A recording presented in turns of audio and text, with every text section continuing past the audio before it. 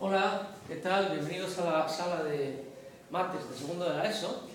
Eh, vamos a trabajar sobre eh, un caso de, de fracciones eh, que se llaman números mixtos, que están formados por una fracción más un número entero y que, como veis y como veréis, se puede solucionar de dos formas distintas y el resultado va a ser el mismo. Imaginaos que yo tengo 5 más un cuarto.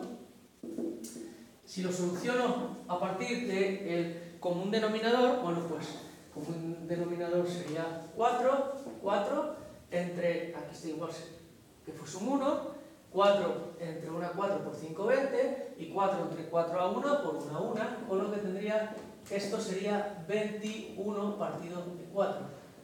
Como es una fracción deductible, pues lo dejamos así.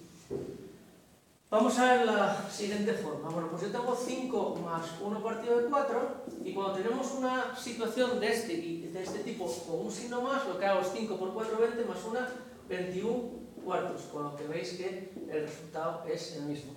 Imaginaros que en vez de ser 5 más un cuarto, nos encontramos con una situación que es la B, por ejemplo, 3 menos un medio. Bueno, pues lo mismo. Tenemos como un denominador, sería 2, 2 entre 1 a 2 por 3, 6, y 2 entre 2 a eh, 2 entre 2 a 1 por 1, 1, con lo que sería 6, estos son menos, menos 1 serían 5 medios. Si lo hacemos de la siguiente forma, bueno, pues sería multiplicar por el denominador, en este caso como está restando, restamos el numerador, sería 3 por 2, 6, menos 1, 5 medios, como veis, resulta igual. Este es un caso especial de operaciones con fracciones que sería igual que si en vez de tener, eh, tuviésemos debajo 1 en ambos casos y la operación se podría hacer, como veis, de las dos eh, formas.